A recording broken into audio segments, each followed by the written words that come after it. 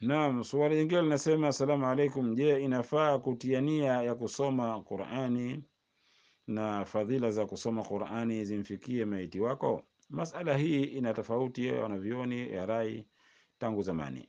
Wako wanaona kwamba inafaa kumsomea Qurani maiti kwa namna hivi ulivyouliza wewe, na wengine wanaona kwamba haimfikii, lakini kama alivyosema Ibn al-Qayyim katika kitabu chake Ruh kwamba ina kauli ya jumhur au kauli ya salaf kasema kama hivyo kwamba inamfikia maiti Qur'ani, ukimsoma inamfikia. Hakuna ubaya kumsomea, insha Allah, hakuna ubaya, ni katika sehemu ya dua tu.